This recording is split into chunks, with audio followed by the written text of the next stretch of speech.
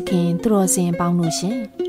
အခုချိန်ကစပြီးဆရာတော်ဓမ္မဒုတဒေါက်တာရှင်စေကိန်းနာဟောကြားတော်မူအပ်သောဘဝဖြောင်ချောင်းတစ်စီတစ်စောင်းအပိုင်း၁၈တရားတော်ကို နာကြားရတော့မှာဖြစ်ပါတယ်ရှင်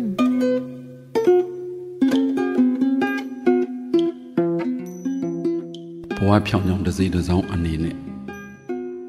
ဘဝအကြောင်းတွေပြောလာခဲ့တာဘဝဆိုတာကလူဘဝနတ်ဘဝဗြဟ္မာဘဝ အဲ့လိုတွေကိုအဓိကထားပြောတာမဟုတ်ဘဝဆိုတာဖြစ်ချင်းဖြစ်တာနဲ့ပတ်သက်ပြီးပြောလာဘာတွေဖြစ်တာလဲလို့မင်းရင်ရုပ်ပိုင်းဆိုင်ရာတွေဖြစ်ကြတယ်လို့စိတ်ပိုင်းဆိုင်ရာတွေလည်းဖြစ်တယ်ရုပ်ပိုင်းဆိုင်ရာတွေလည်းဖြစ်နေကြတယ်လို့စိတ်ပိုင်းဆိုင်ရာတွေလည်းဖြစ်နေတယ်ဒီရုပ်ပိုင်းဆိုင်ရာအနေနဲ့ပြောရင်တော့ဒီလူဒီခန္ဓာကိုရထားရင်ဘဝဏီကုံမဆုံးသေးသမျှကတော့ ဆိုတော့ဘုံမုံဆိုရင်ဘုံမုံမပြောင်းနိုင်ဒီခန္ဓာကိုရက်မပြောင်းအာအရှင်ဘုရားအရှင်ဘုရားကျောင်းသားကကျောင်းကျောင်းသားမူလာတန်းအလေတန်းအလတ်တန်းအကြီးတန်းအလတ်တန်းအလေတန်းနောက်အထက်တန်းနောက်တက်ကတော်စသည်အဖြစ်အဲ့ဒါလိုတွေကရုပ်ပိုင်းဆိုင်ရာပြောင်းလာတာမဟုတ်ဘူးလားဆိုတော့ဟိုရုပ်ပိုင်းဆိုင်ရာပြောင်းလာတယ်လို့ပြောလို့ရပြီမြအဓိကကတော့ကျောင်းသားမူလာတန်းအလေတန်းအထက်တန်းပြောင်းရင်လည်း အတိတရားတွေပြောင်းစိတ်ပိုင်းဆိုင်ရာအတိတရားတွေပြောင်းလာတာဘ ഹു တုတ္တတွေပြောင်းလာအဲလူဘဝကနေယဟန်ဘဝပြောင်းသွားတာရောရုပ်ပိုင်းဆိုင်ရာမပြောင်းလို့ဆိုပြောင်းတယ်ဒါပညာတတ်မှတ်ချက်အနေနဲ့ဒါလို့ဆိုရင်လူပုံဒါလို့ဆိုရင်ယဟန်ပုံအဲအဲ့ဒါလို့ရှိတယ်သိဝင်တိတ်ခါတင်ပင်စင်ကဆိုတဲ့အတိုင်းပဲယဟန်ပစင်းဖြစ်အောင်ဆရာသမားတွေကချီးနှောက်လို့ယဟန်ဘဝရောက်လာ အဲ့ဒီရောက်လာလို့ခုလိုရုပ်ပိုင်းဆိုင်ရာကြီးပြောင်းသွားတယ်ဆိုတာကမြင်တာသိတာသမုဒိပညာနဲ့ပြောတာစိတ်ပိုင်းဆိုင်ရာကမှအဓိကပြောင်းစိတ်ပိုင်းဆိုင်ရာကမှအဓိကပြောင်းဟိုဒါလေးတွေသိစေချင်တာကတချို့ကဒီရုပ်ပိုင်းဆိုင်ရာပြောင်းတာကိုတော့မသိဘူးမသိတော့စိတ်ပိုင်းဆိုင်ရာပြောင်းတယ်ဆိုတာလေလက်မခံကြဘူးအသိလာပြန်ရင်လည်းရုပ်ပိုင်းဆိုင်ရာကိုမကောင်းရာကကောင်းအောင်မလှရာကလှအောင် ကြည့်လို့အဆင်မပြေကနေအဆင်ပြေအောင်ဒါရုပ်ပိုင်းဆိုင်ရာပြောင်းနေကြတယ်စိတ်ပိုင်းဆိုင်ရာကြတော့မပြောင်းရုပ်ပိုင်းဆိုင်ရာဟာလူခန္ဓာကိုရထားပြီးနတ်ခန္ဓာကိုရဖို့အတွက်လူခန္ဓာကိုနှီးကုန်းချုပ်ပေးရနှီးကုန်းချုပ်ပြီးတော့မှနတ်ခန္ဓာကိုရတယ်တခြားခန္ဓာကိုရတယ်ရုပ်ရုပ်ပိုင်းပုံသဏ္ဍာန်အဲ့လိုပြောင်း32ပုံနဲ့ပတ်သက်ပြီးစိတ်ပိုင်းဆိုင်ရာပြောင်းတာကြတော့အဲ့လိုမဟုတ်ဟိုလူခန္ဓာကိုကနေပြီးတော့နတ်ဖြစ်သွားတဲ့ခန္ဓာကို လူခန္ဓာကိုယ်ကနေတိရစ္ဆာန်ဖြစ်သွားတဲ့ခန္ဓာကိုယ်အဲ့လိုပြောင်းတာကိုရုပ်ပိုင်းဆိုင်ရာပြောင်းတာကဘဝတစ်ခုဏီကုန်းချုံမှပြောင်းတယ်လို့စိတ်ပိုင်းဆိုင်ရာကဒီလူဘဝကြီးဏီကုန်းချုံမှပြောင်းတာမဟုတ်အဲနားလေအောင်ပြောရင်လူဘဝခန္ဓာကုံကလူဘဝကြီးဏီကုန်းချုပ်သွားတော့မှနတ်ရောက်သွားတယ်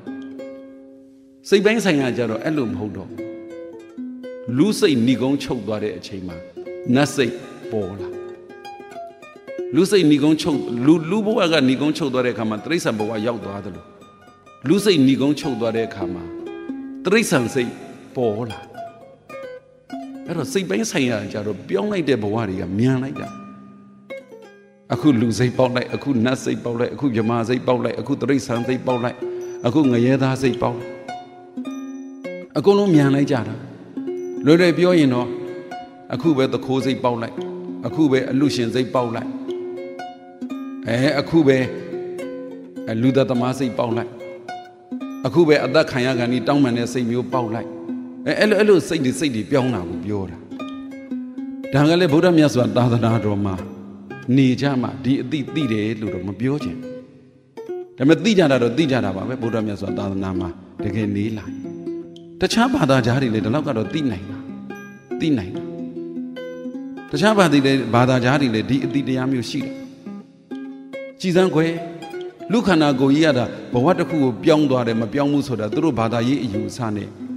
ဟိုညင်းညခုံညပေခြင်းပေကြဒါပေမဲ့အခုလူစိတ်ကလေးပေါ်လိုက်အခုတိရစ္ဆာန်စိတ်လေးပေါ်လိုက်အခုနတ်စိတ်လေးပေါ်လိုက်အခုတခိုးစိတ်လေးပေါ်လိုက်အခုအလူရှင်စိတ်လေးပေါ်လိုက်အခုကုညီတဲ့စိတ်လေးပေါ်လိုက်အခုလူတဲ့စိတ်ကလေးပေါ်လိုက်နေအဲအဲ့ဒါလို့ပေါ်ပေါ်နေကြတာတော့လူတိုင်းသိတယ်လူတိုင်းသိတယ်ဒါဖြစ်ရင် တခိုးစိတ်မွေးမဲ့အစားအလူရှင်စိတ်မွေးပါလားယူမဲ့စိတ်မွေးမဲ့အစားကူမဲ့စိတ်မွေးပါလားလို့မေးတော့ကောင်းတာဆိုးတာကိုခွဲခြားသိပြီမယ်ကောင်းအောင်နေရဖို့ကနေနိုင်ဖို့ကတော်တော်မလွယ်ကြရှာဒီလိုဆိုရင်ကောင်းတယ်ဒီလိုဆိုရင်မကောင်းဘူးဒီလိုဆိုရင်ဆိုးတယ်ဒီလိုဆိုရင်မဆိုးဘူးဒီလိုနေသင့်တယ်ဒီလိုမနေသင့်ဘူးဒီလိုပြောသင့်တယ်ဒီလိုမပြောသင့်ဘူးဒီလိုလုပ်သင့်တယ်ဒီလိုမလုပ်သင့်အဲအဲ့ဒါလိုမျိုး သိဖို့မလွယ်ဘူးသိပြန်တော့လေလိုက်ပြီးနေနိုင်ဖို့မလွယ်မလွယ်အဲဖုံမုံလို့တော့တခါတလေဒါတွေပြောတာဟာကိုအကြောင်းကိုစိတ်ထဲဖြစ်ခဲ့တာတွေကိုအမှန်တရားတစ္ဆာဆိုပြီးပြောတဲ့သဘောပါပဲနောက်လူကြီးသူမတွေထက်လူငယ်လူရွယ်တွေကိုအဓိကထားပြီးပြောပေးခြင်းကိုအကြောင်းတွေပြောတဲ့အခါမှာကိုအကြောင်းလေးတွေကြုံအောင်ကြုံအောင်ပြောတဲ့အခါမမေ့နိုင် မှတ်မိနေတယ်အဲ့လိုအကြောင်းအရာတွေကအများကြီးလူတိုင်းလူတိုင်းမှာမမေ့နိုင်မဲနဲ့မှတ်မိနေတဲ့အကြောင်းအရာတွေအများကြီးပါအဲ့ဒီမမေ့နိုင်မှတ်မိနေတဲ့အကြောင်းအရာတွေမှာဒေါသနဲ့မှတ်မိတာမျိုးလောဘနဲ့မှတ်မိတာမျိုးအဲ့ဒါလိုမျိုးထက်မာနနဲ့မှတ်မိတာမျိုးအဲ့လိုမျိုးထက်အတိတရားလေးနဲ့ချင့်ချိန်ပိုင်းခြားပြီးမှတ်မိထားတဲ့မှတ်မိမျိုးမမေ့တဲ့မမေ့မျိုးကြတော့အလွန်အတိတရားကတန်ဖိုးကြီးတာအဲ့ဒီမမေ့မှုမျိုးကအလွန်ကောင်းတာပါ အဲဘုံမုံအတန်းစင်လိုက်ပြောလာတာမဟုတ်ဘဲနဲ့တင်းတယ်လို့လေးစိတ်ထဲပေါ်လာတယ်လို့ပြောပြောပြီးတဲ့အနေနဲ့ပြောရင်တော့ဆယ်တန်းဖြီးပြီးနဲ့တူတယ်ဆယ်တန်းအောင်ပြီးနဲ့တူအဲဘုံမုံတို့အိမ်မှာကမြေကမ်းဘေးမှာနေတော့တစ်ဖောင်ဝါပေါင်လှုပ်လှုပ်တယ် အဲအရင်ကတော့ဝါပေါင်လုပ်ငန်းနဲ့ဝကဝါထရအဲ့ဒါလိုတွေလုပ်ကြရောင်းကြဝယ်ကြတာပေါ့လေနောက်ကြတော့ထင်းပေါ့အဲဝါရရရောင်းကြဝယ်ကြတဲ့အခါမှာဝကတ်တွေရက်ပြီးမိုးပြီးလုပ်ပြီးဆိုရင်ဒီမိုးဥမကြခင်တကြံလောက်ဆိုအညာမာကအိမ်ဟောင်းအမိုးတွေဖြက်ပြီးအိမ်သစ်မိုးကြသူ10နှစ်မှတစ်ခါ15နှစ်မှတစ်ခါလောက်မိုးကြရတာ အဲ့လောက်ထိခိုင်တာအိမ်မှာဝကတ်လုပ်ငန်းလုပ်တော့အိမ်ကဝါးတွေကိုဝဝကတ်တွေကိုအမိုးမိုးတဲ့ဝကတ်တွေလဲနဲ့တင်ပြီးပိုးကြလဲနဲ့တင်ပြီးပိုးကြပိုးတော့လဲငါဟာတာဗောလေအိမ်မှာလဲနွားမရှိတော့အစတုန်းကတော့အမေကြီးတို့စီမှာရှိတယ်အတော်တွေစီမှာရှိတယ်နောက်သူတို့စီမှာလည်းမရှိတော့အဲလဲငါကြ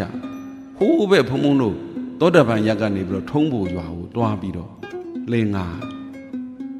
အဲ့လိုလဲငါတော့ဖုံဖုံတို့အိမ်ရတောင်ပဲပေးမှာပဲရောက်ဖူးတဲ့လူတွေသိပါတယ်ကင်းမော်ရှိတယ်မော်တန်းလို့ခေါ်တာပေါ့လေကြောက်ဆောင်တန်းလေးနဲ့အဲစကိုင်းဆိုတာကတောင်ကိုတောင်ချောင်ကိုချောင်မော်ကိုမော်ကုန်းကိုကုန်းလို့အဲ့လိုရှိတာအဲ့ဒီမော်တွေထဲမှာဒီကင်းမော်ဆိုတာရှိလူကြီးကနေသေးတာကိုကင်းမော်ဆိုတာနေခင်းအောင်တိတ်မသွားရဲကြကြောက်ကြတာပေါ့ကလေးပြောပြောရင်တော့တရေ၆တယ်ပြောတာကိုမသွားရဲကြ အဲ့ဒါဖုံဖုံကအဲ့ဒီကုံကိုတယောက်တည်းသွားရင်ညာကြီးတယောက်တည်းသွားရင်ဘာဖြစ်လို့တယောက်တည်းသွားရတာလဲတေတက်တိကောင်းပါလားဆိုတော့တရေ၆မှာမကြောက်လို့လားမကြောက်တဲ့ဆေးရှိသလားဘာဖြစ်လို့အဲ့လိုသွားရတာလဲအဲ့ဒီတယောက်တည်းသွားရတဲ့တက်တိဟာဘယ်ကနေပေါ်လာတာလဲဆိုတော့တယောက်တည်းမသွားရဲခင် သွားသွားရဲတဲ့တက်တိမပေါ်ခင်နှစ်ယောက်သွားခဲ့ကြညာမိုးချုပ်ဟာနောက်နေ့ဝကပ်ပို့မယ်ဟေးဆိုတော့အဘပေါ်လေအဖေအကိုအဘကပြောတော့ကဲကဲသွားသွားလဲသွားပြောသားဟေးဥတင်စိန်စီသွားပြောသားထုံးမိုးကဥတင်စိန်ကြီးသွားပြောသားဟုတ်ကဲ့ခမရဆိုသွားကိုခိုင်အကိုလိုက်ခဲ့လို့ခေါ်တာပေါ့အကိုဝဲရှိတယ်တို့မလိုက်ချင်ညီတွေလည်းရှိတယ်ခေါ်တယ် တယောက်တည်းမှမသွားရည်သေးပဲဘူးအဲဒါပေမဲ့အကိုကလိုက်ပါတယ်ပထမတစ်ချိန်ကတော့မှတ်မိသေးတယ်အကိုနဲ့သွားတာအဘကအကိုလဲခိုင်းတယ်ကိုလဲခိုင်းတယ်သွားမင်းတို့နှစ်ယောက်သွားလဲသွားခေါ်ညီကိုနှစ်ယောက်သွားကြတာအဲ့ဒီကင်းမော်ရောက်တော့စိတ်ကတမျိုးဖြစ်လာစိတ်ကတမျိုးဖြစ်လာပထမတစ်ခေါက်စိတ်တမျိုးဖြစ်သွားတယ်အကိုနဲ့သွားတာ အဲဟိုမှာငါပြူပြီးပြန်လာနောက်နေပြီးဒီလိုပဲနောက်တစ်လနှစ်လသုံးလနေတော့တစ်ခါခေါ်ပြန်ရောတခါလေကျတော့နီးမှကတ်လာဟိုမိုးချုပ်ခဏီမှာဝကလာဝဲအဲ့ကြတော့မနဲ့ပို့ပါဆိုသွားခေါ်ရအဲ့ဒီတခါကျတော့အကိုကမလိုက်ဘူးဒါနဲ့ညီခေါ်သွားညီကလိုက်အဲ့ဒီအကူနဲ့အဲ့ဒီနေရာကိုဖြတ်တန်းအန္တရာယ်ကြီးတဲ့တရေ၆တယ်ပေါ့လေခုလိုပြောရင်တော့အန္တရာယ်ကြီးတာအန္တရာယ်ကြီးတဲ့ခရီးကို ဖြတ်တဲ့အခါမှာအကူနဲ့သွားတော့ကစိတ်နဲ့ညီနဲ့သွားတော့ကစိတ်နဲ့မတူမတူအကူနဲ့သွားတဲ့အချိန်မှာညီနဲ့သွားတဲ့အချိန်မှာစိတ်ခံစားချက်ချင်းမတူအဲ့ဒါနဲ့ပတ်သက်ပြီးတော့တရားဟောရင်လည်းထည့်ပြောပြပါတယ်တချို့လည်းမေးကြည့်တယ်အကူနဲ့သွားတဲ့အချိန်ရဲ့ညီနဲ့သွားတဲ့အချိန်ရဲ့ဘယ်အချိန်ကြောက်တော့အာတချို့ကညီနဲ့သွားတဲ့အချိန်ကြောက်တာဖြေတဲ့လူကရှိတယ် တချို့ကအကူနဲ့သွားတဲ့အချိန်ကြောက်တာဖြေတဲ့သူကရှိအမျိုးမျိုးပေါ့ဖုံဖုံကြုံခဲ့ရတဲ့အတွေ့အကြုံနဲ့ပြောရင်အကူနဲ့သွားတော့ကကြောက်လိုက်တာညီနဲ့သွားတော့မကြောက်အဲ့ဒါကိုအေးအေးဆေးဆေးပြန်စဉ်းစားတယ်အေးအေးဆေးဆေးပြန်စဉ်းစားတယ်ဘာလို့အကူနဲ့သွားတော့ကငါကြောက်တာလဲဘာလို့ညီနဲ့သွားတော့ကငါမကြောက်တာလဲ တူနဲ့တူခံစားချက်ချင်းတူမှာမဟုတ်ဘူးလေတူနဲ့တူနှလုံးသွင်းပုံချင်းတူမှာမဟုတ်ဘူးဘာလို့အကူနဲ့သွားတော့ကကြောက်တာလဲဆိုတော့ကို့မှာအားကိုးစရာအကူရှိတယ်အခုလက်ကင်ထားတယ်အခုဘဲမှမသွားအခုအရေးတကြီးကြီးနေတာအခုများပြေးသွားရင်အခုများကိုမရှိရင်ကိုနားမှာမရှိရင်အဲ့ဒါကိုကြောက်အဲ့ဒါကိုကြောက် ဟောညီနဲ့သွားတဲ့အခါကျတော့ကိုကညီကိုစောင့်ရှောက်ပါမှာကိုကအကူနေရာရောက်သွားတယ်ညီနဲ့သွားတဲ့အခါကျတော့ငါညီဘာမှမကြောက်နဲ့တော့အကိုရှိတယ်နော်ဆိုတဲ့တောင်ပြောမိသေးတယ်ဒါဖြင့်ဒီနေရာဒီခရီးကိုဒီလိုဖြတ်တာပဲဘာလို့ကြောက်ပြီးဘာလို့မကြောက်တာလဲအဲ့ဒီအတိလေးဝင်သွားတာနဲ့ကိုကိုတယောက်တည်းသွားရင်ကိုတယောက်တည်းသွားရင် အော်တေချာကြည့်ကြည့်တော့ဘုန်းတော်ကြီးမြတ်စွာဘုရားအကြောင်းပဲစိတ်ထဲကအာယုံပြုနေတယ်ဘုရားရှင်ကိုတော်မြတ်ကြီးဒီလောက်အန္တရာယ်များတဲ့ဘဝခရီးကြီးကိုကင်းမော်ဆိုတာတခဏရှောက်ရတာပါ၄၅မိနစ်နဲ့ဖြတ်ကျော်သွားဟိုမှာကလေးတင်ချင်းတဲ့ကဘာတသိမ့်ပါရမီတွေဖြည့်ဖြတ်ကျော်လာတာဘုရားရှင်ကိုတော်မြတ်ကြီးမကြောက်ဘူးလားဒီခရီးကြီးကိုမကြောက်ဘူးလားဒီခရီးကြီးကိုလို့စိတ်ထဲမှာပေါ်မိတယ်ဒါနောက်ပိုင်းပေါ့ ဟိုးအရင်တုန်းကကြုံခဲ့ရတာကအာကိုအကိုရှိနေရင်ကိုကိုကိုအားငယ်ပြီးတော့ကိုကကြောက်နေတာသူများမရှိတော့ရင်ဒုက္ခပါပဲဆိုတာဟိုမှာညီနေသွားတဲ့အချိန်ကျတော့ကိုကအကိုကြီးမပူနဲ့ငါရှိတယ်ဆိုပြီးတော့စိတ်ဓာတ်ကအဲ့လိုဖြစ်သွားဒါမှမဟုတ်ဒီခရီးနှစ်ခုမှာပဲစိတ်ဓာတ်ကကြောက်တဲ့စိတ်ဓာတ်ကသေသွားပြီးတော့မကြောက်တဲ့စိတ်ဓာတ်ကပေါ်လာစိတ်ဓာတ်ဆိုတာအဲ့လိုပဲအခုစိတ်တစ်မျိုးသေသွားတတ်တယ်အခုစိတ်တစ်မျိုးသေတတ်သွားတယ် ကြောက်တဲ့စိတ်များအပြီးချုပ်ငိမ့်သွားရင်ဘလောက်ကောင်းသွားမလို့ကြောက်တဲ့ဒေါသစိတ်ပေါ့လေအခုဒါလေးကိုကြည့်ကြည့်တော့ကိုတယောက်တည်းသွားရသွားပြီဘယ်စိတ်နဲ့သွားမှာလဲအိုးဘုရားရှင်ကိုရောမြတ်ကြီးအာယုံပြုကြည့်လို့ရှင်ဘုရားရှင်ကိုရောမြတ်ကြီးတပါးတည်းကြွလာတာသူအာဂဒောတထာအာဂဒောဒုက္ကတတထာဂတတပါးတည်းကြွလာတာဘယ်စိတ်နဲ့ကြွလာတာလဲ တလောကလုံးဟာကိုကယ်တင်ရမယ်ကိုညီတွေပဲကိုညီမတွေပဲကိုသားတွေပဲကိုသမီးတွေပဲကိုလောက်မှအင်အားမရှိတဲ့သူတွေပဲငါကသူတို့ကိုစောင့်ရှောက်ရမှာဆိုတဲ့မဟာကရုဏာနဲ့ကြွဒီဒီဒီဒီအကြောင်းနဲ့ပြောရင်မဟာကရုဏာပေါ့လေဟိုမဟာပညာမဟာကရုဏာမဟာမေတ္တာပြောလို့မကုန်နိုင်ပါဘူးဘုရားရှင်ကိုရောမြတ်ကြီးစိတ်တတ်တော့အဲ့တော့ဘုရားရှင်ကိုရောမြတ်ကြီးဒီတန်တရာခရီးကြီးတောင်လေးသိင်ချင်းနဲ့ကဘာတသိန်းအဲ့လိုကြွလာခဲ့တာဟာဒီစိတ်နဲ့ ဘုရားရှင်ကိုရောမြတ်ကြီးမှာကြောက်စိတ်မရှိတော့ဘာလို့ကြောက်စိတ်မရှိတော့တာတော့အကုန်လုံးထက်အကြီးဆုံးလေအကုန်လုံးကိုကူညီရမယ်ပုံကိုလေအဲဘုံဘုံတို့အဲ့လိုလေးခံစားမိတယ်အဲ့လိုလေးအတိလေးတိုးပြီးတော့ဒါကြောင့်မို့တွေးတဲ့ကြုံတဲ့ဆုံတဲ့သူတွေကိုကြည်ပြီးကိုဘာလုပ်ပေးရမလဲကိုဘာကူညီရမလဲကိုဘာစောင့်ရှောက်ပေးရမလဲကိုကူညီပေးစောင့်ရှောက်ပေးမယ်ဆိုတဲ့စိတ်ဓာတ်ကိုကကိုအတွေ့ကင်းမော်လဲကြောက်เสีย မလို့တော့ဒီတဘွားလေးလဲကြောက်เสียမလို့တော့ဘူးနောက်ဆုံးတန်တရာဘလောက်ရှည်မတော့ဟိုအလောင်းတော်ပါရမီဖြည့်တာမျိုးမဟုတ်ပါဘူးသူနေသမျှကာလပတ်လုံးဟာကိုအင်ကိုအားကိုအစွမ်းတွေကိုကိုယုံကြည်ပြီးတော့ ကိုငယ်တဲ့သူတွေကိုကိုဝိုင်းဝန်းဆောင်ကိုကဆောင်ရှောက်မှာပဲဆိုတဲ့စိတ်ဟာဘယ်ခရီးသွားသွားမကြောက်တော့အဲ့ဒီအတိလေးအဲ့ဒီအရွယ်ဆယ်တန်းအောင်ပြီးခါစားကအဲ့ဒီကင်းမော်ကိုဖြတ်သွားတော့ ပေါ်လာခဲ့ဘူးတဲ့ဒီအတိတရားတွေကမမေ့ဘူးနော်ဒီအတိတရားတွေကမမေ့ဘူးမမိနေတာကိုမကဘူးမမေ့တော့မမေ့တော့အော်ကိုဘယ်မှာရောက်ရောက်ငယ်တဲ့သူနဲ့တွေ့လဲကိုကအကြီးကြီးတဲ့သူနဲ့တွေ့လဲကိုကအကြီးပြည့်စုံတဲ့သူနဲ့တွေ့လဲကိုကအကြီးမပြည့်စုံတဲ့သူနဲ့တွေ့လဲကိုကအကြီးသူတို့ထက်ပိုပြည့်စုံလို့လားသူတို့ထက်အသက်ကြီးလို့လားသူတို့ထက်ခုံကြီးလို့လားမဟုတ်ဘူးကိုစိတ်သက်ကိုက